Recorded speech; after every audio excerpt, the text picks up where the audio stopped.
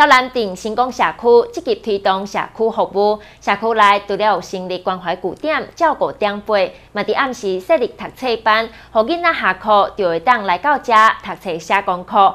同时，嘛有职工人员来照顾大家，而且社区每礼拜拢会举办一次的读经课程，带大家做过来读古册，训练囡仔的定性。家长带着囡仔来个社区参与读经班，虽然爱来背册，互一个囡仔感觉是一个真大的挑战，但是李老师认真的看教之下，大家拢背了是真实，也合适着真侪古册内底知识。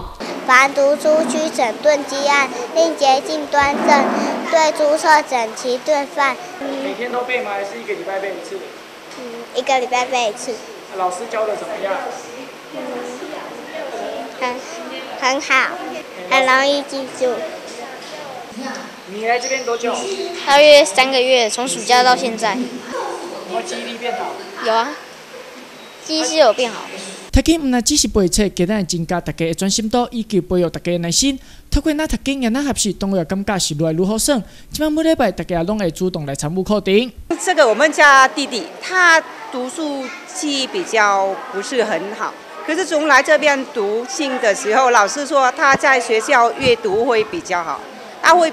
增加他的那个那个记忆。透过这样子的读书方式，一方面他可以提升他的专注力，再来呢就是他可以认字。那另外一个就是因为他透过这样子的练习，他会增强他的记忆力。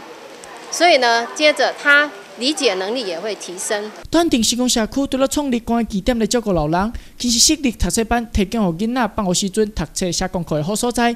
加上有志工人员的照顾，大家心智也伫学校进步真多。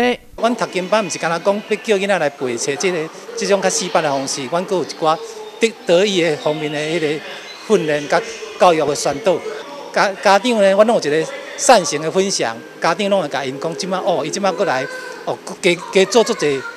伊较早袂晓做的工课，拢有做出来。啊，伊的机智行动嘛，拢愈来愈好。自从囡仔来上读经班了后，除了好好的成绩也学了愈来愈捌代志。家长除了感谢社区用心的付出，同时希望这款的课程会当继续来举办。记者江吉昌报道。